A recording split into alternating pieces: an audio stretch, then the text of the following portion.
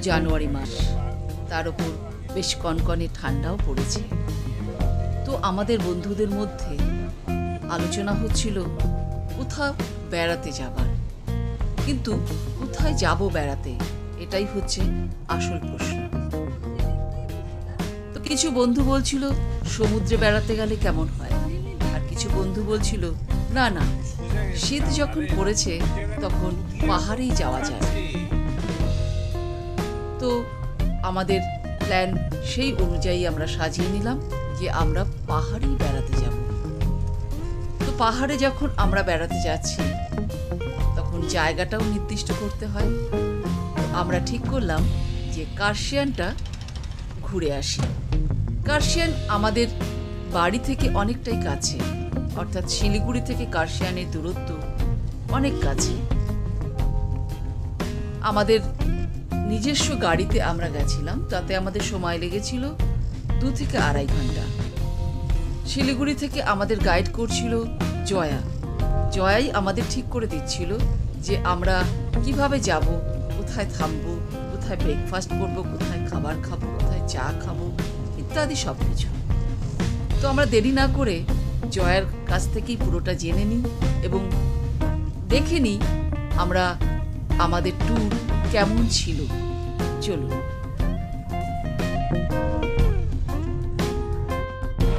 Hi friends Bengal বিটে আপনাদের সকলকে স্বাগত। আজ আমরা আবার একটু ঘুরতে বেরিয়ে পড়েছি। সঙ্গে থাকুন বেঙ্গল বিটের পর্দায় চোখ রাখুন। কিছুটা দূর চলে এসেছি। রাস্তায় আমরা শুকনার কাছাকাছি একটি পাম্পে গাড়িতে তেল ভরে তারপর আমরা আবার রওনা দেব। সো মাচ এক্সাইটেড চলুন আমরা ঘুরে আসি। সঙ্গে থাকুন।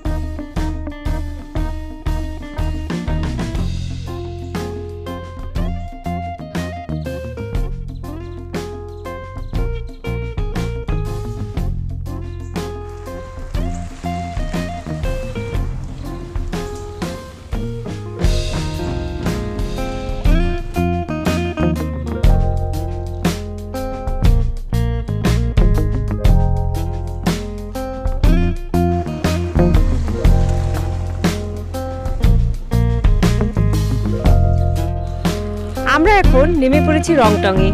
রংটংয়ে আমরা একটু টি ব্যাগ নিয়ে আপনারা একটু দেখে নিন, অনেকেই ঘুরতে যাচ্ছে, এখানে অনেকেই রয়েছে এবং এই জায়গাটা খুবই সুন্দর। প্রাকৃতিক পরিবেশটা আমি বলব একটু দেখাতে।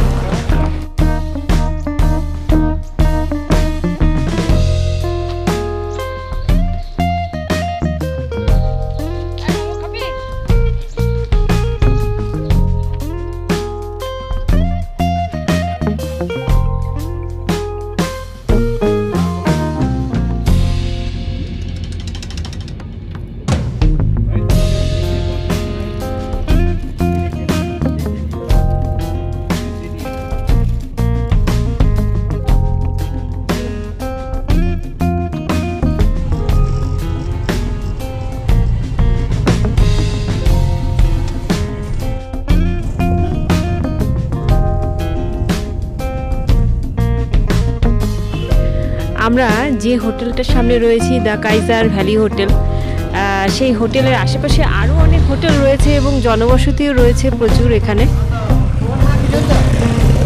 খুব সুন্দর ভিউ রয়েছে চারপাশে।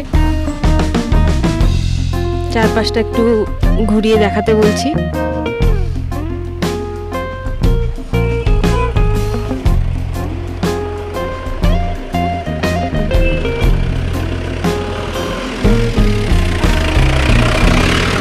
এবার আমরা একটু এখানে ভারী খাবার করে নেব, সকলে মিলে। রেস্টুরেন্টে ঢুকে লাঞ্চটা করে নেব। চলুন রেস্টুরেন্টটা দেখে।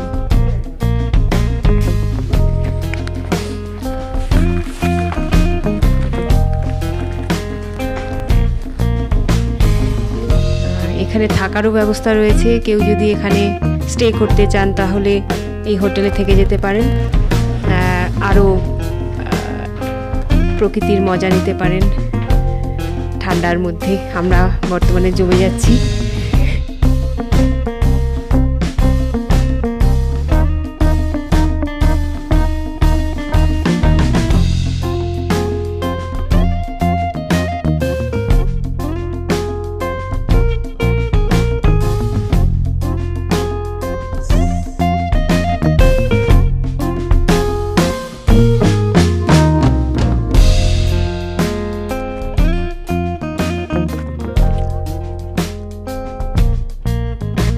আমরা বর্তমানে এখন কার্শিয়াংয়ের ডাউহিলে এসে পৌঁছেছি ডাউহিল পয়েন্টে। এখানে এমন একটা জায়গা, মনে হচ্ছে না গা ছমছম করছে মানে এখানে লোকে বলে যে ভূতের, ভূতেদের কিছু কাহিনী শোনা যায়, তবে জানি না কতটা সত্যি। কিন্তু এই আঁকাবাঁকা রাস্তা দিয়ে এত উঁচুতে যখন উঠে আসছি সত্যি খুব একটা রোমাঞ্চকর ব্যাপার লাগছিল। চারিদিকে পাইন গাছ সূর্য অস্ত যাচ্ছে খুব ঠান্ডা। সকলেই এই মজা নিতে এখানে অবশ্যই আসুন। খুব ভালো লাগবে আশা করি।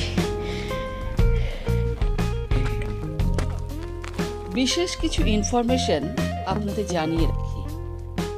আপনারা যারা বাইরে থেকে, অর্থাৎ কলকাতা বা অন্য কোনো জায়গা থেকে কার্শিয়ান বেড়াতে যেতে চান, তারা শিলিগুড়ি, অর্থাৎ ট্রেনে এলে এনজিপি আর বাসে এলে তেনজিং নোরগে বাস স্ট্যান্ডে নেমে সেখান থেকে প্রাইভেট কার অথবা সিকিম বাস স্ট্যান্ড থেকে বাসে করে কার্শিয়ান যেতে পারেন।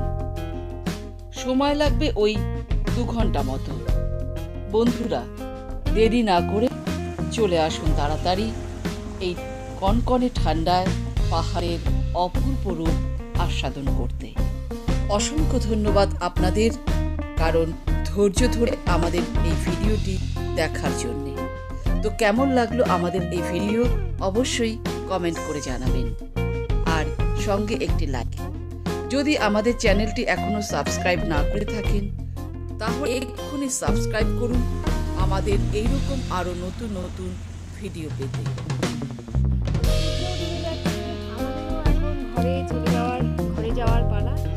আমরা শিলিগুড়ির দিকে রওনা দিচ্ছি।